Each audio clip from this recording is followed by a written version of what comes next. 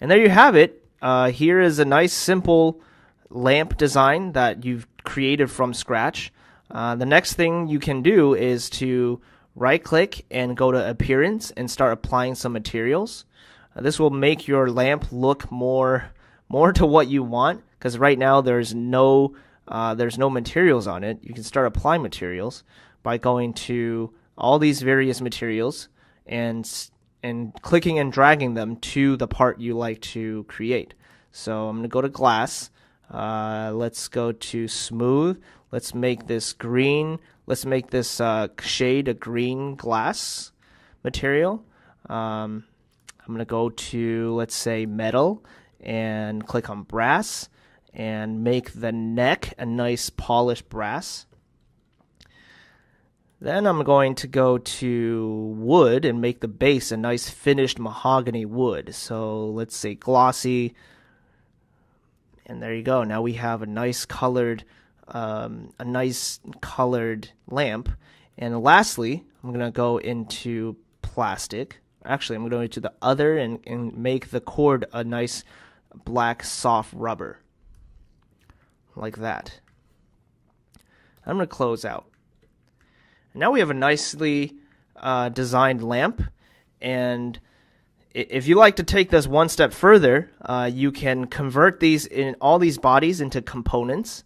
So select all these bodies and select right click and say create components.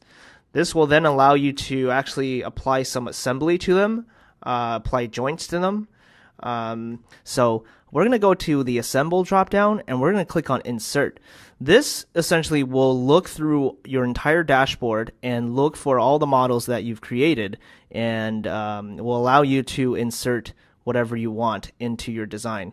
So now it's found that I have two designs. I have my first lamp and I have the light bulb model that I uploaded. I'm going to click on the light bulb model and click on select. When the model is inserted, you can now position the model to where you want it. So I'm going to click on the right view and I'm going to rotate this around and I'm going to click on the center manipulator and bring this up to where I want the light bulb to be. So I'm going to zoom in a bit.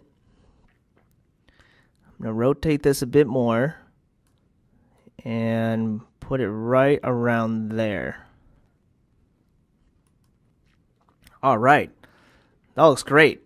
So now uh, I'm going to do the same thing I did with the cord and the neck. I'm going to actually use the lamp model to cut the threading in the neck itself. And so what I'm going to do is I'm going to hide the shade for now because I don't need to see it. Hide the shade. And I'm going to go back to the modify combine option. And when I do that, it's telling me that some components have been moved and it's asking me whether I want to continue with that current position of where the light bulb is or revert to the original. I'm going to say continue. So now I'm going to pick the target body, which is the neck.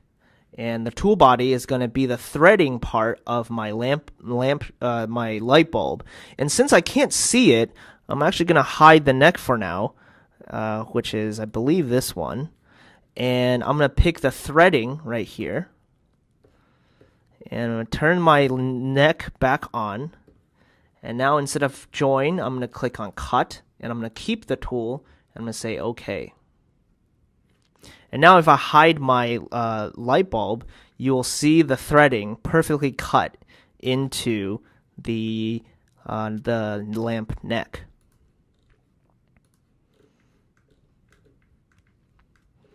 And there you have it, a nicely designed lamp from scratch and uh, hope this was helpful for you. Let us know if you have any questions. We're very active on our social channels as well as our forums.